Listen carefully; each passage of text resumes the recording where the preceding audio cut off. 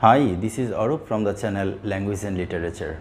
Today, I want to teach you proper order of determiners. When you come across more than one determiners, you should put them in proper order. The question is, does English language have proper order of determiners? Surely, English language has. We need to learn this structure. If you go to study the proper order of determiner, you will see that all the determiners belong to three groups.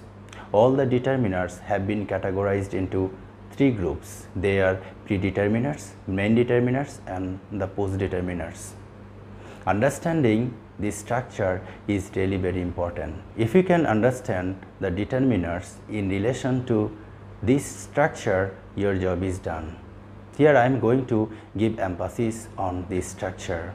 I am going to tell you, I am going to answer the three questions. What are the predeterminers? What are the main determiners? And what are the post determiners? If you can understand the structure, if you can understand determiners in relation to the structure, your job is done. The first question is what are predeterminers? Intensifiers are predeterminers. Intensifying words such as really, greatly, very, pretty, seldom, they are the intensifying words. Intensifying words, the function of intensifying words is to heighten or lessen the intensity. Then we have multiplier as premodifiers, multiplying words such as single, double, treble, triple, single, double, triple, 7 times, 9 times, etc. So multipliers belong to predeterminers. Fractions also belong to predeterminers. Half, one third, one tenth, one fifteen. So fractions are predeterminers. And there are some uh, quantitative, I mean quantitative words which are also uh, predeterminers. They are all, both, they are predeterminers. So predeterminers include some quantifying words, multipliers, intensifiers and fractions and they are predeterminers because they sit at the beginning of a noun phrase and they are not preceded by the main determiners and the post determiners. So after the predeterminers we have the main determiners. What are the main determiners? Article A and the are main determiners. Demonstrative these, these, that, those are the main determiners. Distributive each, every, either, neither are the main determiners possessive my, our, your, his, her, its, their are the main determiners and interrogative determiners are what, which, whose. So, article, demonstrative, distributive, possessive and interrogative belong to the main determiners. They are called main determiners because they sit just in the middle of a noun phrase. That means they can be preceded by pre-modifier and they can be followed by post modifiers you cannot use pre-modifiers after the main modifiers or you cannot use main, main modifiers after the post modifiers. So, they have their definite place you need to maintain. After the main determiners, we have the post determiners. What are the post determiners? Ordinal numbers are post determiners. First, second, third, last, next, previous, they are the ordinal numbers and they belong to the post determiners we have cardinal numbers 1 2 3 4 5 6 7 8 9 they also belong to post modifiers and the quantifying words such as many most much more a few few they belong to the post modifiers so they all are the determiners and they belong to a particular group be it pre-modifier main predeterminer, main determiner and the post determiner. So, you have to understand determiners in relation to this structure.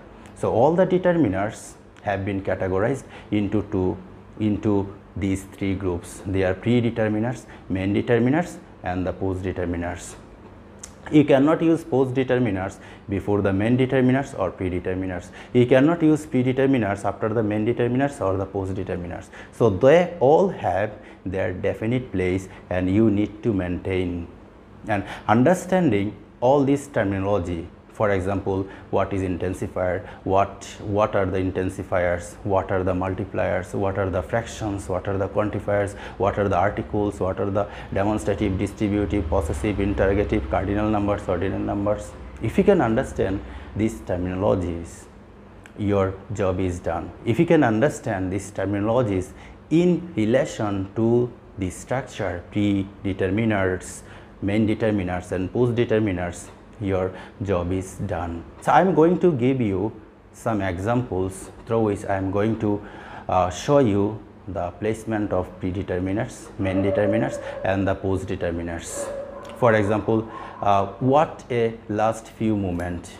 Here what is a, a what should I say uh, intensifier and it is a predeterminer. A is a article, it is the main determiner and last few last is the ordinal number is a post determiner few is a quantifier is a post determiner. So here i have one predeterminer one main determiner and more than one post determiner. The fact is that you cannot use more than one predeterminer you cannot use more than one main determiner but you can use more than one post determiner. And this is the fact.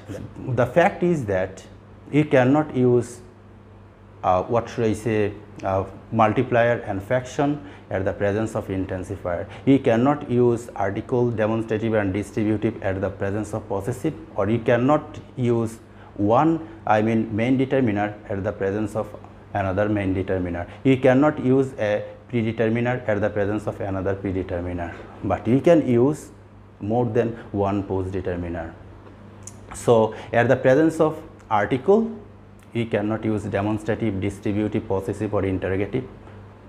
So, at the presence of one main determiner, we cannot use another main determiner. At the presence of one predeterminer, we cannot use another predeterminer. But we can use more than one post determiner. But at the another thing is that you can exclude one or two determiner from the noun phrase. For example, the company has increased 5 times my previous salary. 5 times is a multiplier and it belongs to predeterminer. My it is a possessive determiner and it belongs to main determiner. Previous is an ordinal number and it belongs to post modifier. So here I can write only my previous salary, I can write previous salary, I can write 5 times my previous salary. So, you can use more than one determiners, you can exclude one or two determiners in response to a particular context. But make it sure that you maintain the proper place, you maintain the placement that each determiner has. You cannot use main determiner before predeterminer, you cannot use predeterminer after the main determiner. So, if you want to really understand this lecture, your first task is to understand these terminologies. What are these terminologies? You have to understand what intensifiers are, what multipliers are, what fractions are, what do you mean by article, demonstrative, distributive, possessive, interrogative. You have to understand cardinal number, ordinal number. You have to understand quantifiers. So, if you really understand all these terminologies in relation to the structure pre-modifier, main predeterminers, main determiners and post determiners, you can understand this lecture properly. In the next video, I will talk about determiners uh, and all these types of terminology elaborately. So, I hope that you can understand this lecture very easily. Again, if you really understand this lecture, you have to give emphasis on the structure predeterminer, main determiners and the post determiners in relation to the terminologies I have discussed throughout this class. Uh, thank you very much for watching this lecture. Thank you. Take care. Bye.